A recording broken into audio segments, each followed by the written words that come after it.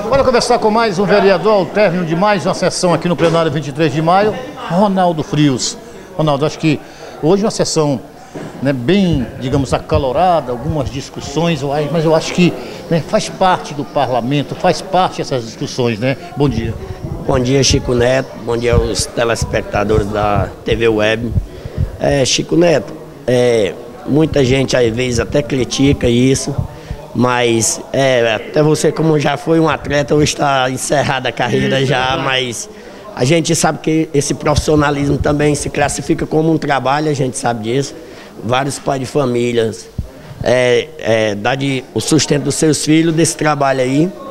E a gente não poderia deixar de aprovar isso, porque e, além de um trabalho, é também uma socialização, né? Que é, é, um projeto de tirar crianças da rua, vai ter uma categoria sub-20 que é, até para um garoto que nem o Samuel que pode aparecer um profissionalismo desse aí e várias outras crianças que todo pai de família tem sonho de ter o seu filho um atleta e atleta também é um trabalho é, quando passa a ser um profissional, profissional já se classifica como um trabalho. É um profissional diferenciado, né? É um profissional diferenciado. É, quando a pessoa já joga um amador, já é satisfeito. Imagina o trabalho dele é, sendo um profissional, Chico Neto. Ele tem, ele passa a maior parte do dia dele tendo seus treinamentos, que é para estar tá bem é, nas suas condições físicas e dar o melhor de si para o seu trabalho lá, que ele é exigido pelo seu superior. Como o trabalho do nosso amigo Roberto Carlos é ser um treinador. Excepcional. Gente boa demais, um profissional que para mim ele está de parabéns e eu agradeço demais ele tá na nossa equipe aqui do Pacajus, que a gente torce bastante.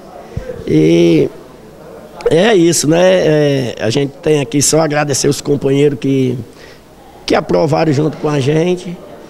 Eu agora é a gente torcer que, que esteja numa situação boa nesse campeonato cearense, que a gente sabe também que não é fácil. Mas a gente só tem a agradecer aí a diretoria de estar tá fazendo esse trabalho também, viu, Chico? Olha, é importante, né? É o passo a passo, como por exemplo, para o Pacajus estar onde está, foi preciso dar um ponto de partida. E esse ponto de partida começou justamente aqui, na Câmara de Vereadores. E para que esse passo possa ir adiante, é importante que essa, essa verba que foi destinada possa ser aprovada, né? Sim, Chico. É, como eu já falei, isso é um, é um trabalho lá que a gente sabe que não é à toa que é, se eles for para lá, os filhos passam fome, se eles for só treinar sem ter é, a, isso.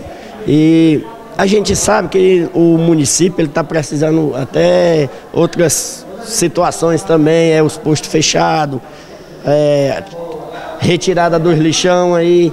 Eu quero que a população saiba que a gente está batalhando por isso. Todo dia a gente vem conversando com o prefeito, fazendo esses pedidos aí. A gente sabe que tem bastante lâmpadas na cidade, queimadas, e a gente não para de perturbar o prefeito. Ele é, pode até se chatear com a gente, da gente estar tá fazendo esse, esses pedidos a ele, mas. Acha que o vereador pode fazer, não? O vereador pode fiscalizar e pedir. Né? É isso, a gente vem pedindo todo dia, a população pode ter certeza que jamais a gente está dando as costas. A gente está aperreando o prefeito, porque ele é quem autoriza essa parte aí, mas a gente está cobrando bastante. Obrigado, Ronaldo. De nada, amigo Chico Neto. Tamo junto, meu garoto.